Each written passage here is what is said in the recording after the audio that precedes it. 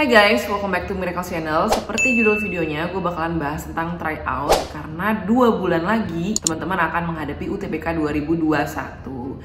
Nah, banyak dari kalian yang DM gue di ya di media sosial gue lah nanya kayak gini, kak mendingan perdalamin materi dulu atau ikut tryout aja sana sini gitu.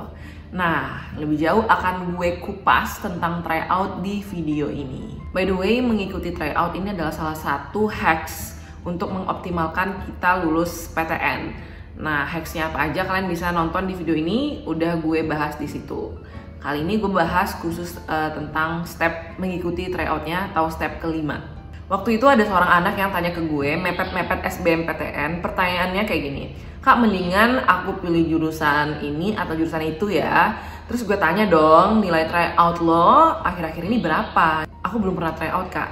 Terus gue kayak, hah?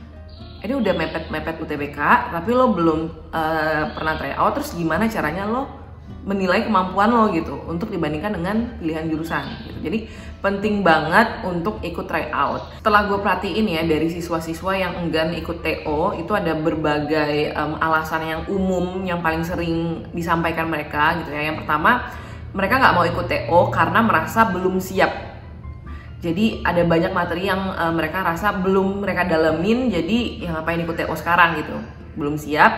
Dan ketika nanti nilai TO-nya udah keluar dan ternyata lebih jelek atau lebih rendah dari temen-temennya, apalagi yang uh, ikut bimbel gitu ya, malu. Di akhirnya jadi males belajar, jadi ngedown gitu. Dan ada juga yang salah kaprah, mereka ngiranya TO itu sama aja dengan lo latihan soal, terus lo lihat pembahasannya, itu sama dengan TO Padahal beda. TO itu kan simulasi ujian nih. Jadi misalnya lo mau TO UTBK 2021. Ya udah lo membuat suasananya seperti bener-bener UTBK gitu. Mulai dari komposisi soalnya bagaimana, ya berapa uh, soal TKA, berapa soal TPS gitu misalnya. Terus juga di dalam TPS dan TKA itu dibagi lagi dong berapa PU-nya, berapa PK-nya. Itu harus semirip mungkin dengan UTBK yang asli. Kemudian dari durasinya durasi waktunya ya. Jadi uh, untuk UTBK 2021 itu durasi waktu sebanyak 195 menit untuk TPS dan TKA. Jadi udah dua-duanya ya. Dan kalau yang TPS dan TKA campuran, waktu yang dialokasikan itu 285 menit. Nah, itu lo harus bener-bener um, ikutin durasinya sama dengan UTBK 2021. Kemudian yang ketiga, suasana atau kondisi lo ngerjain soalnya. Jangan lo ngerjainnya sambil um, rebahan di kasur sambil ngemil. Kan nggak bukan simulasi gitu namanya. Cuman sekedar latihan soal biasa. Jadi ketika lo TO lo simulasiin tuh ujian yang sesungguhnya. Jadi lo kerjain um, TO-nya di meja di kursi dan benar-benar lo fokus dengan apa yang uh, disediakan di soal tersebut sekarang gue bakalan bahas manfaat mengikuti tryout. Yang pertama, lo jadi tahu di mana titik kelemahan lo. Jadi please stop mikirnya, aduh gue nggak mau lah ikut TO, gue belum siap. Gue nanti kalau nilai TO-nya jelek malu sama temen-temen gue yang lain. Jangan lo jadikan TO ini sebagai kompetisi, karena bukan itu tujuannya ya. Tujuan tryout ini adalah biar lo bisa mengevaluasi titik kesiapan lo udah sampai mana apa yang menjadi keunggulan lo dan apa yang menjadi kelemahan lo. Sehingga kelemahan lo ini nanti lo bisa perbaiki lagi lo perdalam lagi gitu. Misalnya nih misalnya TPS ya. Setelah TO nya selesai kan lo dikasih tahu nih nilainya. PK berapa, PU berapa, PBM berapa, PPU berapa. Nah, ketika nilai PK lo udah tinggi nih, tapi uh, eh, PU-nya masih rendah, ya jadinya lo tahu kan apa yang harus lo pelajarin lebih lanjut lo harus mempelajari PU lagi dong gitu. Jangan PK doang mentang-mentang lo suka matematika. Terus PK lo tinggi oh yaudahlah gue belajar PK doang. Tahu-tahu PU lo amburadul gitu. Makanya perlu try out biar lo bisa tahu lo kurangnya di mana. Itu tadi manfaat yang pertama lo tahu titik kelemahan lo di mana dan lo tahu apa yang perlu di review lagi materinya. Manfaat yang kedua lo jadi bisa mengalokasikan waktu dengan efektif. Bayangin deh ada A, si A ini nggak pernah ikut TO. Jadi dia nggak tahu nih alokasi waktunya seberapa. Walaupun dia tahu nih, TPS misalnya um, dikasih waktu 120 menit. B juga tahu TPS 120 menit, tapi B ini udah sering try out.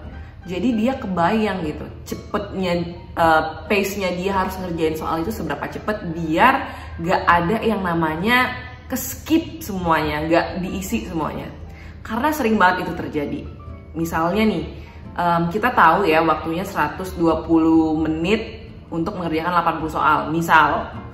And then um, lo ngerjain lah dari awal ya dari depan PK gitu misalnya ya PU nah kemudian tiba-tiba wah udah tinggal 10 menit aja padahal lo belum sempet baca PBM yang mana PBM ini kan panjang banget ya bacaannya Nah, jangan sampai kayak gitu. Makanya dengan tryout lo jadi bisa tahu nih alokasi waktunya gimana ya. Kalau di UTBK 2019 komposisinya gini, PU ada 20 soal, PBM 20 soal, uh, PPU 20 soal dan PK 20 soal. Jadi ada 80 soal dengan waktu 120 menit. Ini yang UTBK 2019 yang 2020 itu kan dia cuma TPS doang mungkin agak beda ya sama 2019 gue um, nyebutin yang 2019 karena 2021 itu sama kayak 2019 kan balik lagi. Ada TPS dan ada TKA tapi mungkin alokasi waktunya agak sedikit berbeda dengan yang 2019 tapi kira-kira um, mirip lah gitu loh. Di TPS UTBK 2019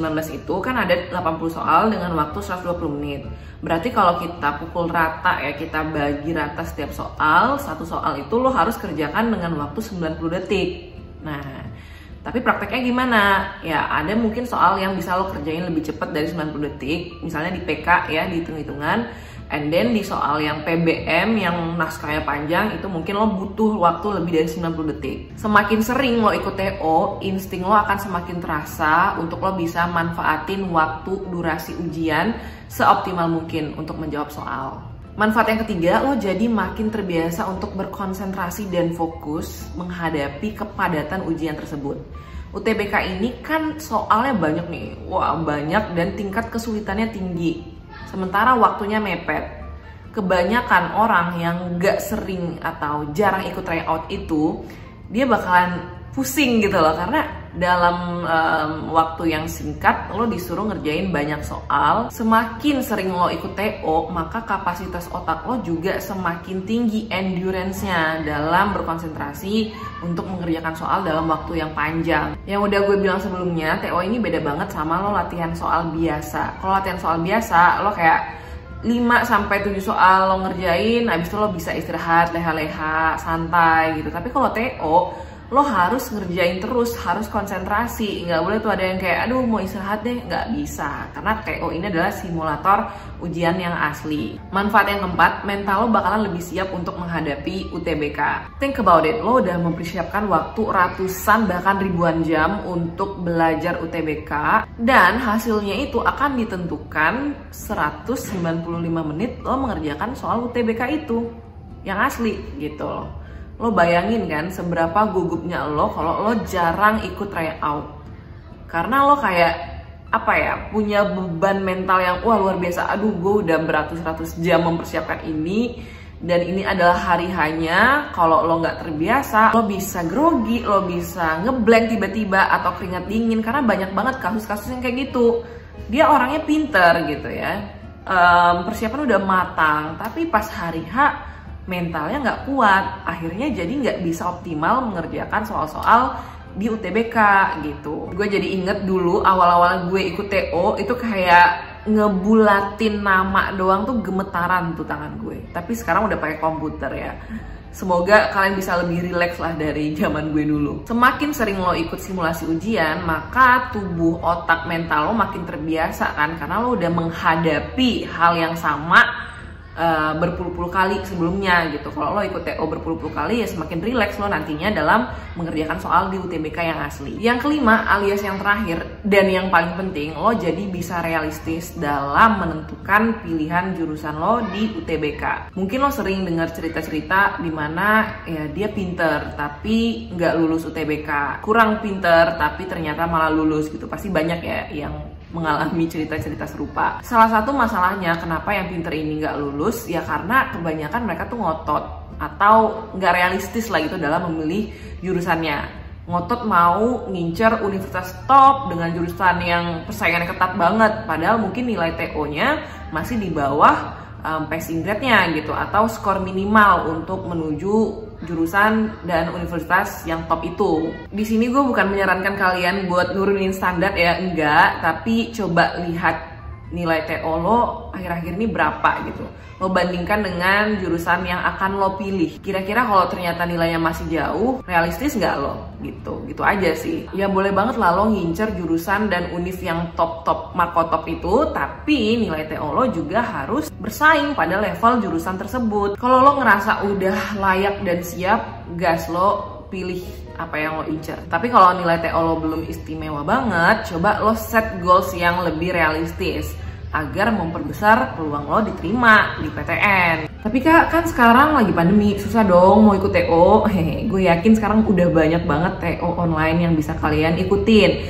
Salah satunya adalah UTBK Grand Tryout yang diadakan oleh Zenius. Jadi ada empat kali TO yang bisa kalian ikuti mulai dari tanggal 13 Maret, 20 Maret, 27 Maret, dan 3 April. TO ini dilaksanakan secara nasional, jadi seluruh Indonesia bisa ikut. Menariknya lagi, kalian berkesempatan untuk memenangkan beasiswa pendidikan dan banyak hadiah lainnya. Dan TO ini juga ada video pembahasannya guys, jadi nggak cuma TO doang, kalian bisa belajar melalui video pembahasannya. Untuk info lebih lanjut, klik link di description box di bawah. Oke okay guys, sekian video kali ini. Seperti yang udah sering banget gue sampaikan di webinar-webinar dan video gue sebelum-sebelumnya bahwa it's okay lo punya mimpi setinggi mungkin, nggak apa-apa, tapi lo harus punya peta yang akurat untuk lo mencapai mimpi tersebut. Oke, okay, semoga bermanfaat. Good luck on your study and I will see you guys on my next video. Bye-bye!